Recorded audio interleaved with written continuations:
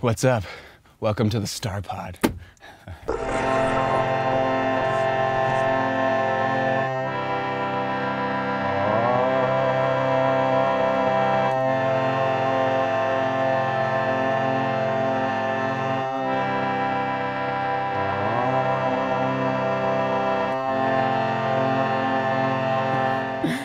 Uh, but yeah, welcome, welcome over. Uh, where do we start?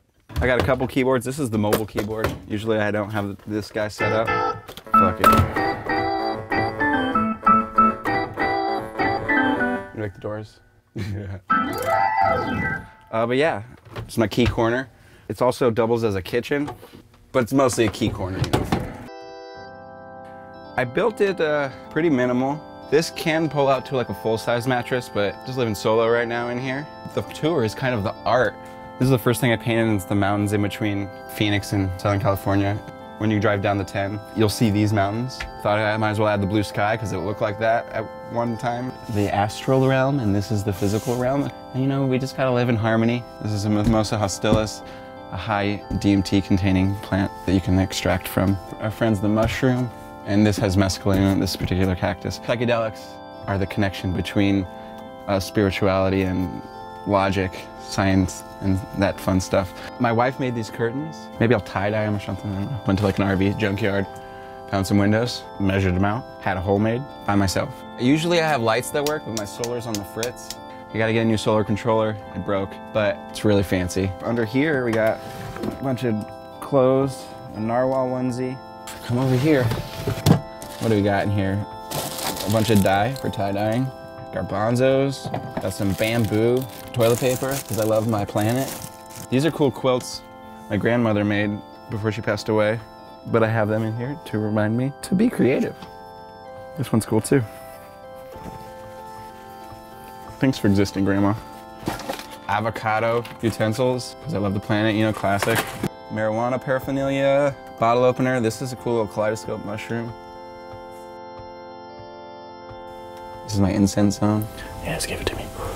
Bring it over here. It's gonna be like a sink zone. I usually just use it as like a fruit bowl. Here's my bathroom. I grab a compostable bag because I love my planet. Just throw it in there. And I just kind of gotta have a fire extinguisher, everyone. Gotta have first aid kit. Got a huge bag of rice, some corn flour. Creature dominoes. I don't even know how to play. Come over here. I may have brewed my own ayahuasca, but I may not have. But this is some harvested rose hips that um, a girl I was dating gave me. It's good for uh, cramps for ladies. She gave it to my wife. I'm polyamorous. Fun fact, this is my jacket. I have one, and it has a cool mushroom pin. Oh, up here, this is the good stuff. Christiania, gotta have it up. My friend Steven painted this for me. Cool thing my friend Dango drew. We're the physical and astral realm partying together. We're all on the same page. my late friend Raver, he passed away, but I made these stickers before he passed away and he loved them. So my friend Sparrow, she's the best, hanging out with Raver. Actually, this is Sparrow right here with my wife. And this is me and Jake DeJula. A lot of people might not know him, but a lot of people will know him. He's the best fucking dude on the planet. Fun fact. Meow glasses. Nice guy's 100% vegan. My wife works here. An actual bootleg Grateful Dead sticker from the parking lot. Google Skate Wild, because you'll have a ton of fun if you hang out with those guys. I had a pet rat who passed away, and these are the doors from his little house. I got his footprint tattooed right here. My wife did it. These are my other weasels. Dry bones. Me and my friend's crew in Arizona, we're a little crazy. Oh, we got a cool scorpion vagina. Here's me and the missus, one of my missuses. MAPS, Multiple Disciplinary Association for Psychedelic Studies. The reason why there's a psychedelic renaissance happening right now, why the FDA is approving MDMA and psilocybin for therapeutic use is all beca because of this organization, this nonprofit. Uh, look up MAPS. Psychedelics will save your life. This is a medical conference I went to in Arizona for psychedelic medicine. This is what I used to look like. I used to just be really drunk all the time and in this kind of outfit. You ever been to Moab? You can skate the rocks out there. I took this bad boy out there. New Mexico, the aliens are there. I've met them. They're cool. They usually come through this portal right here. I got a skylight, but I mostly use it for uh, stargazing. So it feels like you're in a spaceship. And that's why I call it the Star Pod.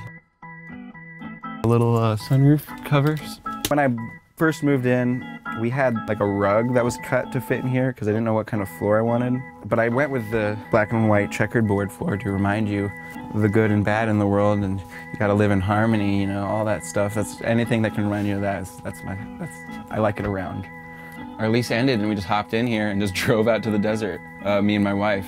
And she's never really camped before, so she really got thrown out into the fucking, into the, into the trenches. Luckily we had this hut. Now she's a camping pro. Here, let me show you my stove. This is the stove we, we use, but we usually just, you just find twigs and you put it in here, and then you put your whatever pot and whatever you're cooking right here, and it's like a single burner. My wife will make tortillas on that every morning, get the day started, get some rice going, get some beans, you know, we're Hispanic, you know, culture. Uh, this is the outside gym.